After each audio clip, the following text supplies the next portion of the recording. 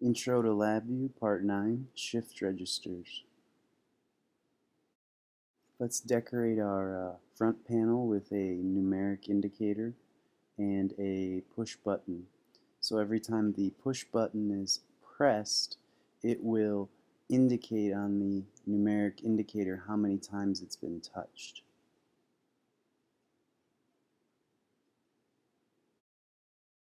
To implement this on the block diagram, we're going to need a loop because we want to check the button over and over to see how many times or when it is being pressed. I'm going to create a constant here to keep track of our total number of touches. We start at zero and I wire that into the while loop.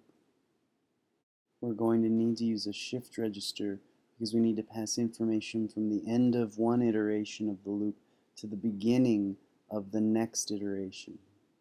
Change the loop tunnel by right clicking on it or control clicking on it to bring up the menu and choose replace with shift register. We're going to need a case statement because we will do something different if the button is pressed or if it is not pressed. In the false case, it is not being touched, so we want to add 0 to the total. If it's true it has been touched, we want to add 1 to the total. So wire the existing total from the shift registers to a plus sign and then the two values inside the case statement. We're then going to wire this to the shift register.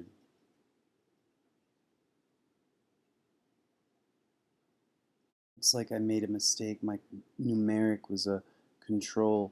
I need to change that to an indicator. Wire that total into my touches indicator. Finally, we need to run a comparison between the number of total touches and let's say 10 so that I'll know that when we reach 10 the loop can stop. Alright, let's test this out using highlight execution. You can see the data flowing from left to right. It's starting off as 0, flows to the right, comes back to the beginning, will continue to be 0.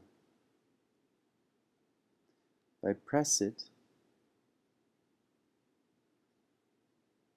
you'll see at the plus sign, it gets a 1, becomes 1, flows to the right, moves to the left, and flows out as a 1.